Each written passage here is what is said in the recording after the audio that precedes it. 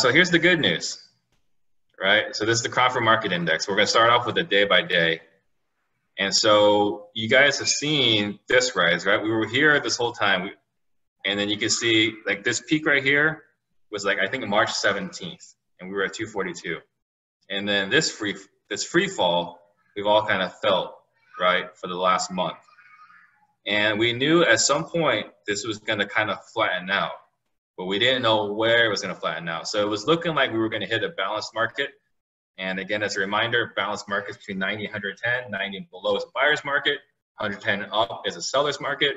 So we were wondering if this was going to hit a, uh, a, balanced market, but you can see here it's starting to level off. And what the Cromford market uh, in the, uh, the Cromford report uh, is predicting is we're not going to get past 140. That's the prediction. Okay, so that's good news. And so, what? How does this look um, compared to the last couple years? Well, this orange line is 2018. Okay, and that's kind of I wouldn't say normal. It's just flat, right? And then we always kind of dip a little bit uh, in uh, towards the end of the year in the holidays. Um, but as long as we're above 110, we're going to continue to appreciate. And then in 2019, you can see this was the ro- kind of roller coaster that we went through. And then things went bonkers at the beginning of this year. You know, we went to up to 242, like I said. Um, Avondale was over 400. Uh, Chandler and Gilbert was over 300. And then this happened. And again, we see here it's starting to level out. This is a weekly, so it, it doesn't look as flat. You know, they haven't updated it for the week.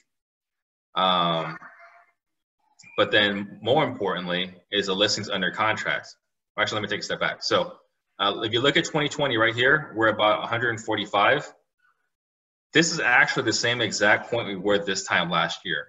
So last year when we were complaining that there weren't enough homes for sale and the buyers were being picky, we're in the same exact point we were as we were this time last year. So it might feel crazy as far as like it feels like the market's slowing down sometimes, but in reality, it's just the market's still crazy. Um, and then you can see right here the listings under contract. So uh, we were participating just like we were in 2019 as far as listings under contract. And then again, this is where demand dropped like a rock, right? and then it, it went down a little bit further, and now we're back to where we were pre-COVID as far as listings under contract. So those are positive signs. Um, and then we had the, this is the copper index per city. So you can see here, it's pretty drastic. So we were uh, 382 in Avondale this time last month. And remember it was over 400. So uh, Avondale dropped 43% to 217, which is still a crazy market. Uh, Glendale 316 to 200. Uh, Gilbert from 281 to 193.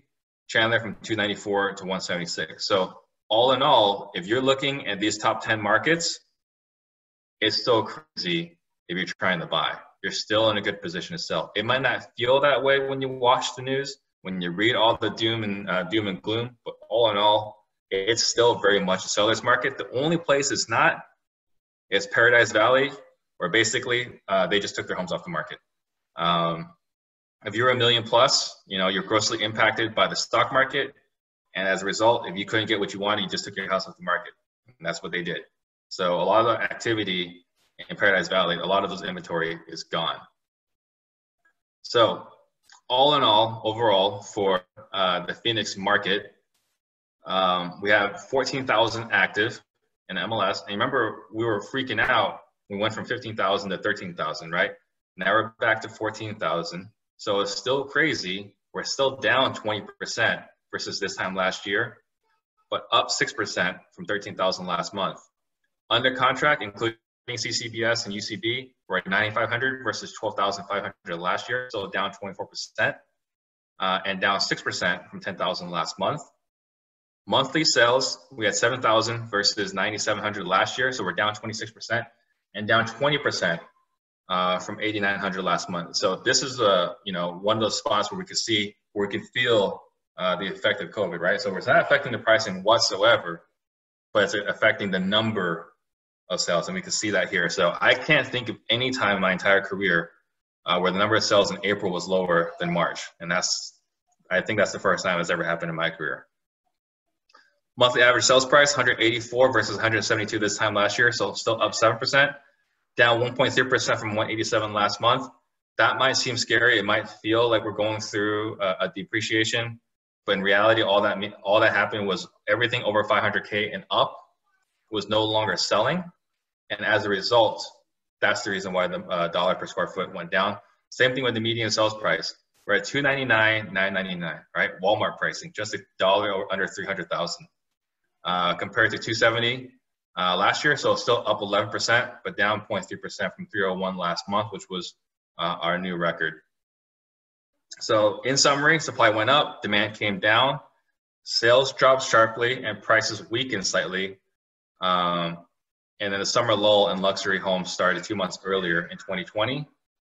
Uh, the sudden rise in active listings without a contract ran out of steam during April, and now it's flat out to a flat and slightly lower project, uh, trajectory for May.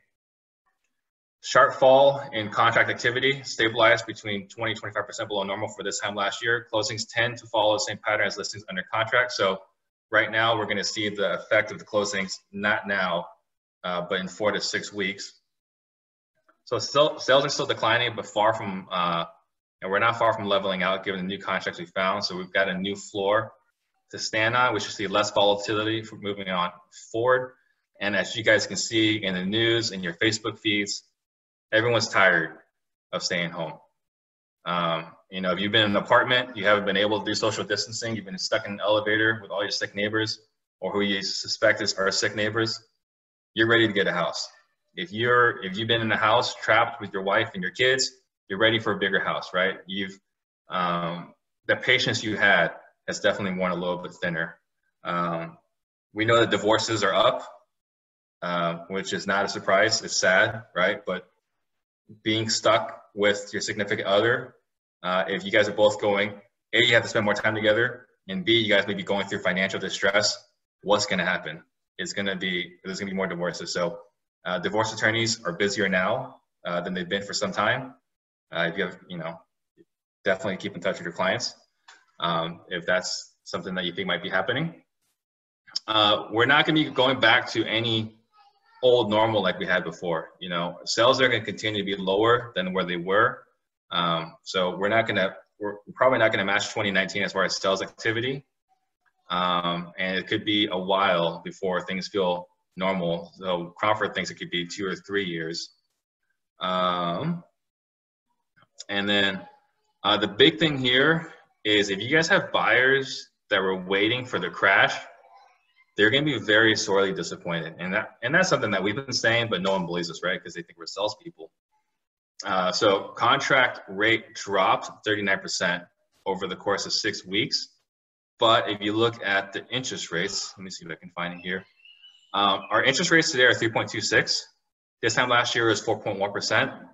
Uh, so even though the median prices have increased 9% year over year, uh, the mortgage is actually 9% cheaper um, than last year. So looking at a principal and interest payment, 300,000, 30 year fixed rate mortgage. This time, uh, this time last year was 1450 a month. Right now it's 1307 per month. So it's $143 cheaper, so 10% cheaper than this time last year for the same exact house. Uh, so if you have anyone waiting, like they're just hurting themselves. So make, sure you have that conversation with them. And then there are fewer cash buyers today. And uh, what Michael Orr was saying was that um, anyone that's willing to take a lower offer today because they're worried is making a mistake. So if you if you guys have clients that want to sell, you know, they don't have to take a low offer. They can do a price reduction to get a price right, but they don't have to take a low offer to sell.